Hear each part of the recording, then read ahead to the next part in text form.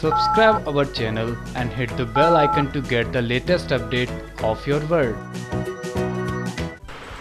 Show गुम है किसी के प्यार में की कहानी में आखिरकार इस बार माननी पड़ी सई को अपनी हार जी हाँ सई के सामने एक सवाल आकर खड़ा हो गया था, जिसमें भवानी ने उसे ऑप्शन दिया था कि अगर वो पुलकित कसरत सबके सामने ला सकती है तो ले आए और अगर ऐसा नहीं होता है तो उसे नाक रगड़ कर मांगनी होगी। भवानी से माफ़ी।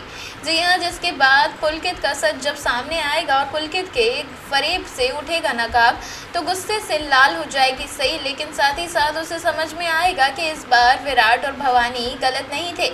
और इसी के चलते आप आने वाले ट्रैक में देखने वाले हैं कि जी हाँ भवानी के आगे झुककर माफ़ी मांगती नज़र आएगी सही और कहेगी कि मुझे माफ़ कर दो काकू, क्योंकि मैंने तुम्हारे सामने गलती की और मैं गलत थी इस बात को मैं स्वीकारती हूँ।